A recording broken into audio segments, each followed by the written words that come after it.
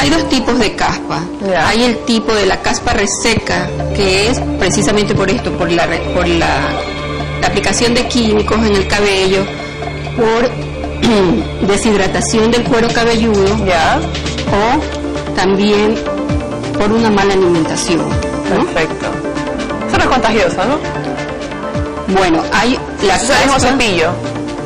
Bueno, hay un, un problema de caspa que es la caspa seborreica. Esta sí es causada por una bacteria, ¿no? Y si no se la controla a tiempo, pues es lo que se llama pues ya la caspa seborreica, que es una infección al cuero cabelludo. y que sí es contagioso. Esa sí puede ser contagiosa, así es. Perfecto. Ahorita le vamos a aplicar el aceitito, Ya. que es Y de aquí ella tiene que pasar a lavarse la cabeza, ¿no? Luego le vamos a lavar el cabello, ¿no? Con una loción de ataque. En el Neus Spa tenemos una máquina que ayuda a descongestionar todo esto y es una máquina a base de ozono, ¿no? Que va a descongestionar y a purificar el cuero cabelludo. Aplicando la, esa máquina justamente en el cuero cabelludo. Así para ver cuál es el diagnóstico. Es un vapor decir. ozonizado. Ya. No, es un vapor ozonizado que ayuda a activar Ah, ya, el tratamiento y haciendo así más efectivo. Ya. Sea, primero nos haríamos esa máquina y luego procederíamos a hacer esto. Así es. Ya, perfecto.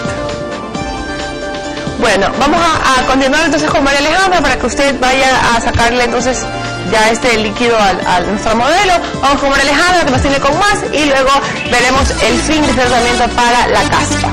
Entonces lo último que nos tiene que contar sí, sí, que es obviamente el lavado, que es con un shampoo o acondicionador o un, un rinse como usted lo llame, pero que es obviamente anticaspa, pues, ¿no? Así es, es un tratamiento que se lava con el shampoo anticaspa, luego aplicamos un tónico, ¿no? Que nos ayuda pues a aliviar y a descongestionar el cuero cabelludo. Y eh, eh, durante los, el transcurso de los días vamos a ver cómo eh, va cayendo más, Sí. eh, se va descamando más el cabello, el cuero cabelludo, ¿o no?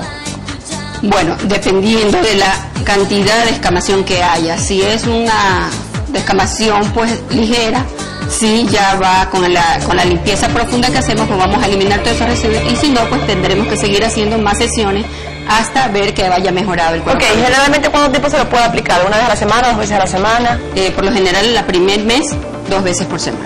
Perfecto, entonces muy bien, muchísimas gracias. Nos vemos en una próxima oportunidad y nos vamos en este momento a una pequeña pausa comercial. Ya venimos con más.